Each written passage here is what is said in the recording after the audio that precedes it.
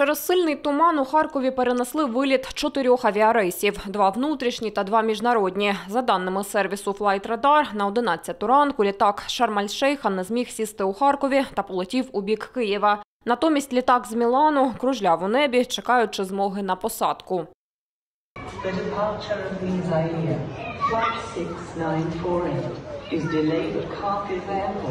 The departure of Wings Air, Flight 6948, is delayed at Kharkiv Airport. Вдень ситуація покращилася, але туман повернеться в регіон ще ввечері і протримається до кінця доби, кажуть синоптики. Це через те, що ситуацію диктує холодний атмосферний фронт, тоді як Харківщина знаходиться в теплому секторі з РФ. Зараз температура повітря перевищує кліматичну норму на 8-9 градусів у бік тепла.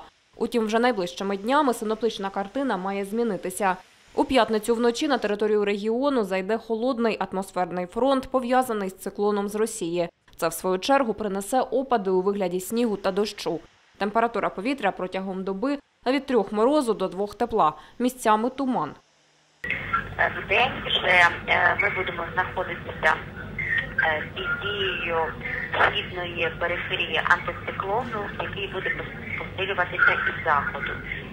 Вже сьомого е, ми очікуємо безвисотних опадів. Е, Вітер північно-західний 7-12 метрів. У суботу, 8 січня, без опадів. Вдень до 5 градусів морозу, вночі стопчик термометра опуститься до 8 з позначкою мінус. У неділю вдень місцями невеликий сніг, вдень 1,6 морозу, вночі температура повітря опуститься до мінус 9. Христина Асика, Владислав Самойлов, Агентство телевидения новости.